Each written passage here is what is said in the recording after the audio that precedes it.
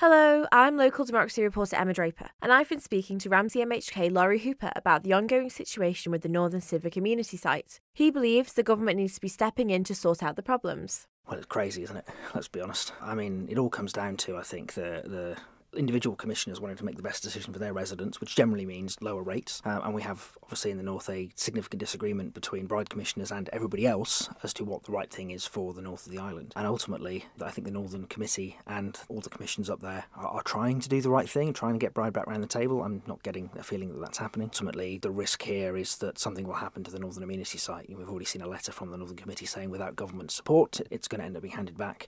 I don't think anybody wants to see that. I think having it run locally is, is the right thing uh, for the north. It's a really good site. It is quite frustrating, I think, to be in this position. Uh, but ultimately, my view is government is probably going to need to step in and act. And I think the easiest way of doing that, because all of this ultimately is about rates and the disparity between how rates are collected in Bride versus everywhere else, is to deal with that issue at source. Basically, look at the way we collect quarry rates and say, well, if that's causing you all of these issues, if that's causing such a, a difficulty, uh, fine, we'll just collect those centrally um, and actually that resolves the issue overnight because that will raise that's the 60 grand that the northern site needs. You could simply say we'll collect those centrally and uh, use it to fund the northern collective site in the north. And then if bride wants to come back to the table their contribution would be based on their residential rateable value which is a lot lower and actually would significantly reduce their contribution as well. So it seems like a relatively straightforward solution but it is going to need government in this case the treasury i think to act to do that. I don't think it's a particularly complex piece of legislation but uh, i'm always in favour of actually tackling these problems rather than just kicking them into the long grass so, to my mind, if the committee, if all the commissioners in the North can't get back around the table and agree something collectively, I would have no problem at all in pushing government to step in and say, we're going to solve this because it needs solving. Do you think that this situation has actually opened up the discussion for rate reform and the need to look at how local authorities are structured? I think it has, but I think I would be nervous about trying to fold anything like this into a massive piece around rate reform. The, the issue we're facing here is very specific to the collection of quarry rates and the way that's dealt with uh, in, a, in one particular area, two areas, I think, but in this case, one area. I would be nervous about saying, oh, we're not, we're not going to fix that. What we're going to do instead is we're going to fix the whole rating system on the island, and then nothing will happen. That's Tynwald's national, national solution with these things is, oh, yeah, yeah, we'll just leave it. We'll fix everything all at once. It's not going to happen. So uh, my view is let's fix this particular issue and then have a bigger conversation about rate reform because the rate reform disparity is pretty big as an issue, especially in Ramsey, because we see the way that works and the disparities you have with, with people literally the other side of the, the town boundary. And the whole system is definitely in need of a shake up. But in this instance, I think there is a relatively simple fix that solves the issue around the Northern Amenity site, which secures that for the people of the North, which will help everyone in the North, actually, be the right thing to do. And then there is a conversation to be had around, okay, what does this mean then for rate reform more broadly? What will you be doing to try and get the situation resolved? So I've already written to the Treasury Minister asking about this. We've had some correspondence from the Northern Committee as well, and I've already responded to them expressing support for the position that I'm outlining. So ultimately, I'm going to keep on about that and keep pressing them and say, Treasury, you have to act. And uh, hopefully, that Treasury actually taking that seriously and taking steps to act will encourage Bride to come back to the table and actually reach some kind of agreement with the rest of the North. That is always the best solution, is get people to agree to things. Uh, but ultimately, we've been elected as national politicians to tackle these problems, to make these sort of decisions.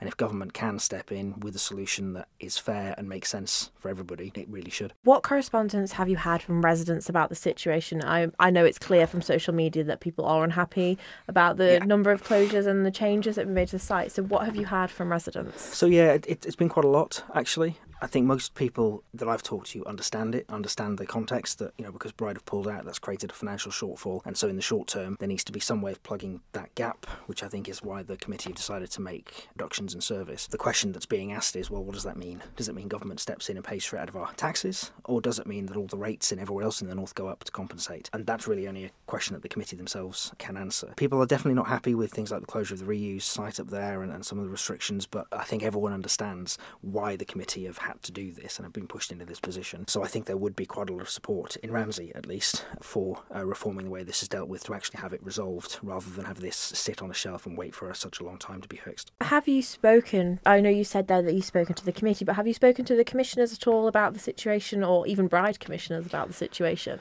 Uh, so I've spoken with uh, a couple of individual commissioners in Ramsey. I'm trying to organise a meeting at the moment. Just have we have regular catch-ups anyway, so it's almost certainly going to be something that comes up at our next regular commissioners and MHK catch-up that we have. I have spoken with a few of them. I've spoken with a few of the officers and the town clerk down there as well. And there was a public meeting quite recently that I attended, and there was a lot of engagement there between lots of residents, actually residents of Bride, residents of, of the North, and, and the Northern Committee. Bride didn't send a representative. I think there were one or two commissioners maybe in the audience, but they didn't actually send someone there, so there hasn't been any of that engagement. Because this is very much a local authority matter, isn't really for me to step in at that local authority level, if that makes sense. I think because it's become such an issue, because it's now escalated to that national stage, now's the time when an MHK or the MHKs of, of the North really need to get involved, and that's kind of where we're at, I think. Your fellow Northern MHK, Tim Johnston, said he wants to see a roundtable discussion with all the parties that are affected involved. Yeah. Is that something you would agree with and you'd like to see? I think that's the, that's where I would have always started with this, is to say get them back around the table. My understanding is that's been tried and, and hasn't got anywhere. Tim's obviously in a very different position because he has six parishes to represent, one of which being Bride, the others obviously not. Whereas from a Ramsey perspective, I think the view of Ramsey collectively would be this is unfair. It isn't right that actually one party can unilaterally have such a big impact on everybody else in the north. We are all in this together ultimately. Uh, so yes, a roundtable discussion, get everyone talking, see if they can find an agreed solution would absolutely be the preferred route.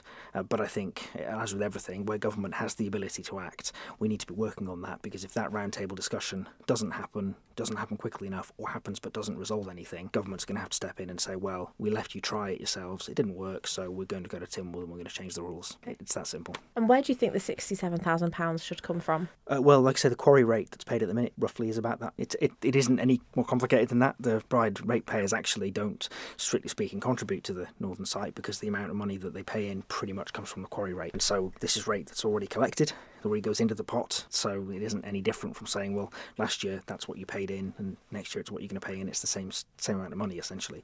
Uh, the only other option would be to increase rates everywhere else, or take the money out of the tax system, which inevitably has, has knock-on impacts. So unless people want to pay more money uh, so that Bride can have a reduction in their own rateable value, then the fair solution is to say, well, we'll just take those rates that are already being paid and use those to fund the thing that we are already funding with it. Ultimately, there will be a knock on impact, but I would rather there be an impact on a smaller number of people rather than impact on, on everybody in the north. Thank you for making it to the end of the Manx Radio newscast. You are obviously someone with exquisite taste. May I politely suggest you might want to subscribe to this and a wide range of Manx Radio podcasts at your favourite podcast provider so our best bits will magically appear on your smartphone. Thank you.